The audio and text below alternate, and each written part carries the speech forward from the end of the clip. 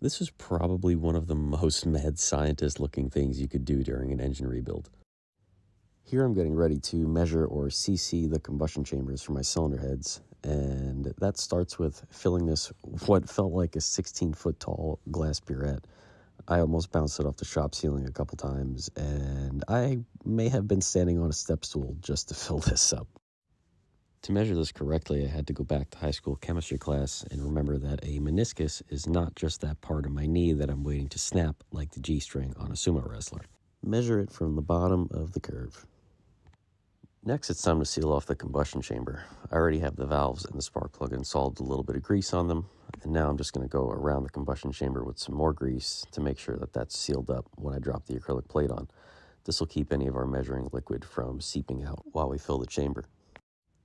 There was something oddly mesmerizing about watching the combustion chamber fill up, but don't get too mesmerized and forget to shut off the valve before the liquid reaches the top, because if this overfills, you have to start all over. If we take a close look, we can see we have a small air bubble here. So now we just have to tilt the head side to side and guide that air bubble until it escapes through the hole in the plate. Now summon all your inner precision because we're going to top off the rest of this fluid. And we're going to get it to stop before it overflows right there. Perfect. Now we can read the scale and see how much liquid was transferred over to the chamber. And we can see that we have a 62 cc combustion chamber.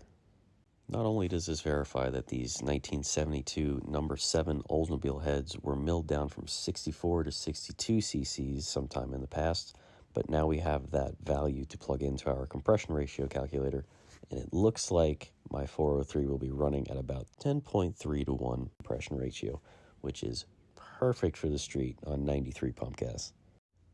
Anyway, if you guys are interested, I have a full video demonstration on how to CC your cylinder heads on my YouTube channel.